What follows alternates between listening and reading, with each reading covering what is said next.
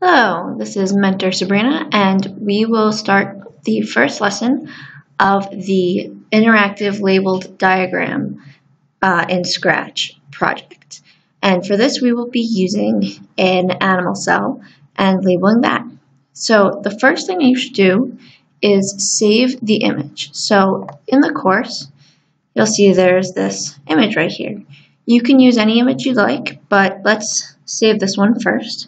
So you right click it, or if you're on a Chromebook, you use two fingers and click. Then you click Save Image As, and you choose where you want to save it. So I go to my desktop and save it as cell.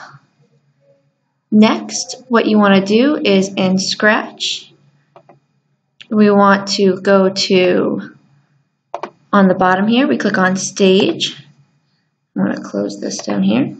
Click on Stage, then click on Backdrops. Then choose the Upload Backdrop from File button. And navigate to your image. Mine is right on my desktop, so I click on that. And it appears here. Now, I also want to delete this empty backdrop, so I click the little X. And now I just have my cell. Now the next step we want to do is we want to delete the scratch cat. So click on the little scissor right at the top and then click on the scratch cat on the stage. Then he disappears. Now, for each thing that I want to label, I'm going to have a little tiny square. It's gonna, each square is going to be a different color.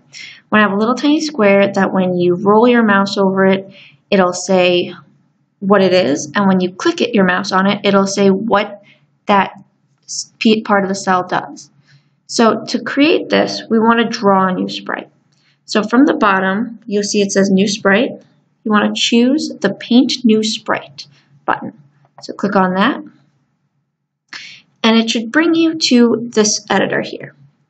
Now, what we want to do is we want to draw a square. So to do that, we click on the Rectangle tool. And then down at the bottom, we choose the Filled Rectangle. Then choose the color you want it to be. I'll go with red for the first one. And to draw the square, you click, hold your mouse down, and then drag your mouse. And that draws the square. When you let go, you'll see that there are these little tiny squares all around it. You can use those to make your square smaller.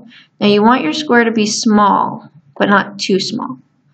Once you think it's at the right size, you can also drag it if you put your mouse over the middle you can drag it somewhere. Click anywhere so that it appears on the screen over here. Then drag it to what you want it to label. This is going to label the nucleus, so I will place it on the nucleus.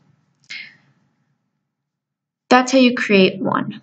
To create multiples of them, because we need one for every part of the cell we want to label, with the sprite down here, we want to click on the duplicate button, which is the stamp that's right next to the scissor. And then we want to click on the sprite down here.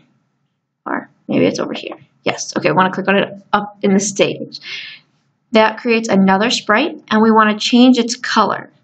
So let's choose a different color. And then you choose, choose a different color, and then choose the fill with color tool here, the paint bucket and then click inside the square. That changes the color of the square and you can place it on the next thing you want to label. In this case, it's the nucleolus. If after you have drawn the square you think it's still too big, you can make it smaller by clicking on the shrink button at the top, which is the four inward pointing arrows. And then in the editor, on the editor side, click on the sprite in here. And you should see it get smaller over here, okay? If it gets too small, you click on grow and you make it grow a bit. And that is all I need to show you for this lesson. Simply duplicate these sprites and place them wherever you want to, on all the pieces you want to label. And we'll be writing the code in the next lesson.